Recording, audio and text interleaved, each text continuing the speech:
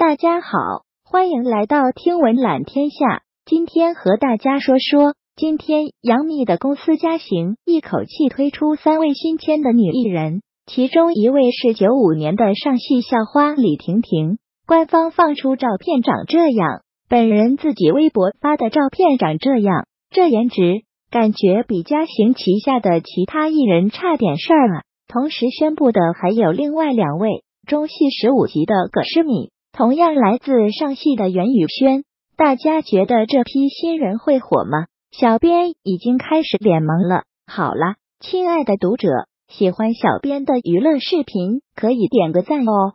在此，小编祝愿大家在二零一七年里财源滚滚，心想事成。小妹在此谢过了。